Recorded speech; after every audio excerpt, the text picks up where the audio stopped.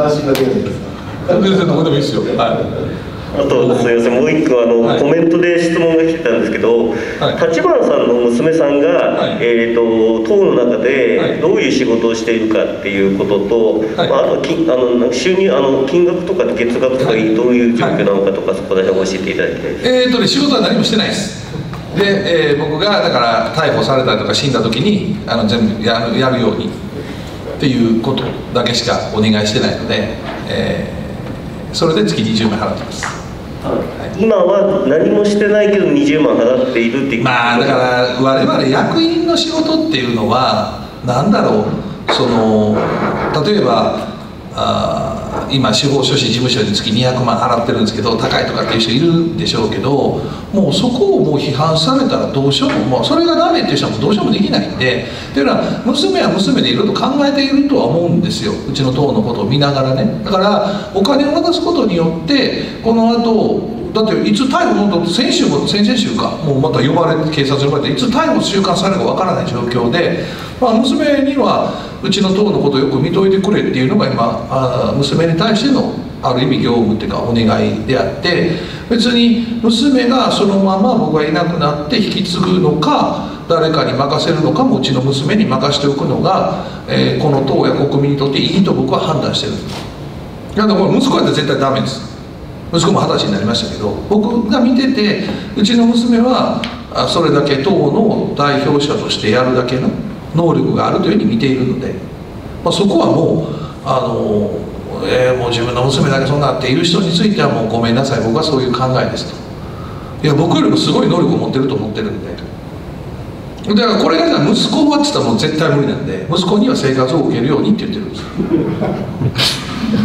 いずれ生活を受けた方がいいよって仕事できないと思うよ。2人とも中学校行ってないですよ。うちの娘も息子も2人とも中学校行ってないですけどそれ行ってない理由は娘と息子では全然違うので。でそれぞれの子供に対して僕は評価してますよ別に。あの逆に生活を受けながら優しさを草木に対して人に対して優しさを持ってきてくれたらいいと思ってるし娘はもうむしろ両方持ってるのですごいなと思ってます。だからなんていうのかな。そこでね本当にこういう立場の仕事って能力がなければ本当できないので努力じゃどうしようもできないので、まあ、そういう意味ではあのうちの娘に託しておくのが一番間違いないという選定のした上で自覚をさせるためにお金を払ってますって感じです。あの何もしてないっていうのはあの、えーここのどっかの部屋とかには来てるけど具体的な仕事をしてないって意味なのか何にもしてないです。来てもいないってこと、はい、ここに来たこともないでしょうね。はい、何にもしてないです。でも一応ネットとかなんか NHK と情報は見といてねっていうことを頼んで何かの時には頼むよっていうことを言ってるだけみたいなネットそんな感じの情報を見ておいてるも言ってないですけどもうパパがあの逮捕されたりとかあ死んだりした時にいわゆる事故があった時には相当混乱をする可能性があるので、えーそこは久美ちゃんが仕切ってくれと。その時に適切にやってくれと。っていうのはあまりにもこう近い人になると本当に混乱をするでしょう。だ全くここにいない人が出てきていろいろと話を聞いて体裁多分本人が代表するとは僕は言わない人だと思ってるので話を聞いた上で、えーやる誰を党の代表も代表を決めるしかないんですよこの党は。代表を決めたらとか決めるように仕組んであるのであのまずうちの娘が代表になるようにはしてあるのでそのまま娘が代表でやるのか別の人間を指名して代表にさせるのかも一旦娘を経由した方がいいっていうのを思ってるという意味ではすごい適任者だなと思ってます。もう一番最初それこそ3年前からそれは本人には打診してました。この国政政党になった時からね娘にはそういうことでちょっとやってくれないっていう話をしたんですけどまああの最初はずっと断られてたんですけど最近になって、まあ、いいよって言い出し言ってくれたんでそこははいお願いしてます。娘さんは、えー、と何十代の方でそれでお仕事とか何をされてるんでしょうか、もうすぐ30歳かな。今29歳ですね。薬剤師の資格を持ってて働いてたんですけど町田の方で働いてたんですけどなんか職場でいじめがあったので最近辞めたと聞いてます。だからそういう意味では今の職業は NHK 党の役員ですね。いじめていじめられたとかいじめたんじゃなくてなんか職場ですごくいじめをしてる姿を見てなんかちょっとここでは働けないなと思って辞めたと言ってましたけどね。まあ本人はでもこういう会見に出てくることについては別に嫌じゃないよとは言ってるんですけどね。もうずっと顔出すのは嫌だって言ってたんですけど何が心境の変化があったのかわからないですけどいや別にいいよって感じなんですけど。ただ変にここに来ると接触されるのが嫌だなと思ってるんですよ。むしろいろんな色派閥構成に巻き込まれるのも嫌だなと思ってるので。そそんな感じですけどね。娘さんと、えー面識のある方た例えばあの浜田さんとか誰か面識がある方がいるんでしょうか？ないよね。もちろん浜田君会ったことないと思うし。え牧原君会ったことある？あ古いからな。それこそあれやろ。国政政党になる前やんなそれ大阪？東京で。東京で会ったことあるまあまあまあ牧原君ぐらいじゃない？もちろんこう副党首とか幹事長会ったことないし。多分党の議員でうちの娘に会ったことって誰もいないんじゃないかな。多分美香さんも一回会ったぐらいだと思う。ねだからそういう意味じゃ本当に党の関係者との接点っていうのはほぼないですね。できるだけそういう意味じゃ本当にニュートラルにいといてほしいなって感じです。わかりました。まあなかなかねこれはもうあのなんていうのかな。あの理解しししてもらいづらいものであるとは思ってます。でも別に隠さず言ってるのはもう本当にねこう僕は本当にこの立場をやめたいんですよ本当にできるだけ早くね。でも僕はじゃないとできないんですよ。これ本当にいつ塀の向こうに行くかわからないんですよ。もうこれ今も NHK の被害者裁判になったらお金払いますって言ってるけどこんなの公職選挙じゃないかって言われてで僕だったらもうそうですかそうだったらもう刑務所行きますって終わりなんですけどじゃあそれを任せれるかっていうともうこれ新しくすることってもっと怖いんですよね。だから松浦さんなんかもよくね塀の子上とか言いますけど僕たち経営者って新しいことをしていくところの組織のトップってあのーなんだろうもう常に塀の向こうに行くことは覚悟しとかなきゃいけないんですよ。何言われるかわからないから。もう検察が来たら終わりなんでね。だからそこはだからその司法書士に関しても月200万払ってることについてももうめちゃくちゃ言ってくる人いるっちゃいるんですよね。なんで200万やねんと。ねそんなのもう自分の身内やっていう感じで。でもじゃあやってくれる人おるのかと。出すでと。NHK と戦うために弁護士であろうが司法書士であろうがじゃあ月200万出して国民からの請求書を預かって NHK との窓口やってくれる人おんねやったら出てきてくれよと。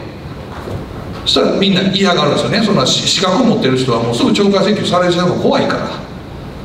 ある意味僕はもう刑務所に行くかどうかの壁の上を歩いてるしでも司法書士とか弁護士って司法書士資格や弁護士資格を失うことっていうのはある意味壁の向こうに行くようなレベルなんでだからそれをかけてやってくれる人を探したけどいないからやってるわけであって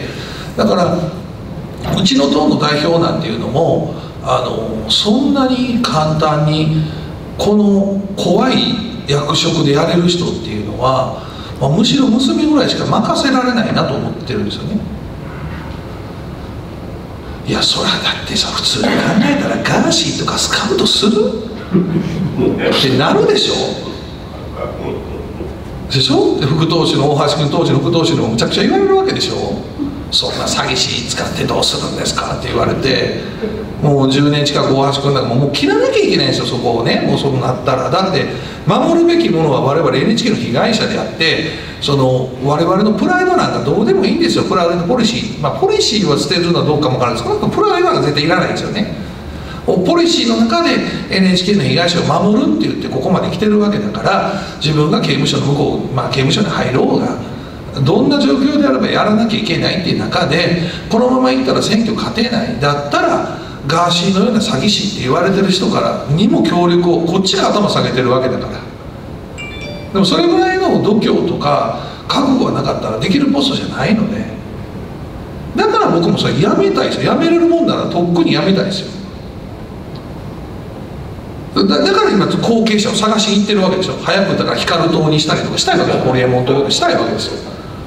で僕はもうもうもう55歳なんでもう十分働いてきたんで18歳とか僕は10歳から働いてきてるからある意味。バイトしてきてるんでね。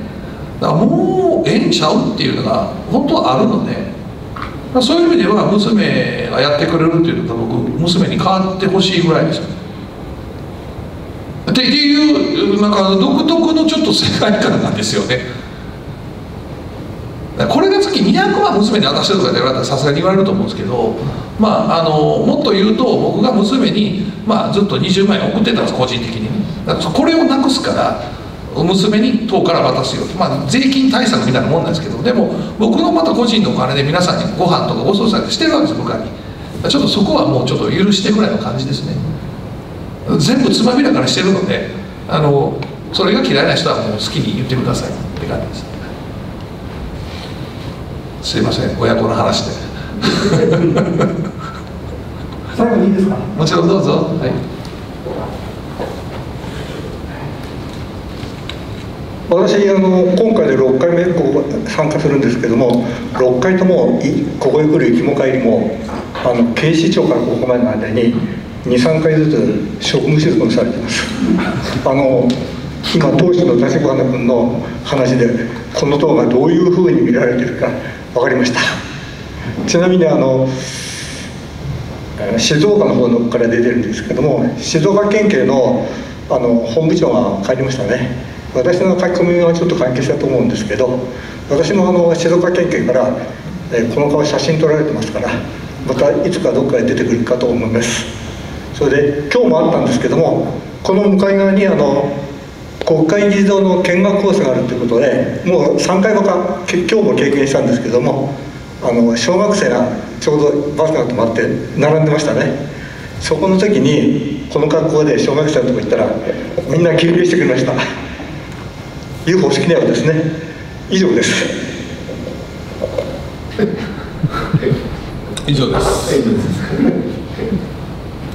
コメントのしようがないからね。いいですか？初めての方もいらっしゃるかも。終わります。ありがとうございました。はい。ありがとうございました。都合で、都合で大団円ということで。ね。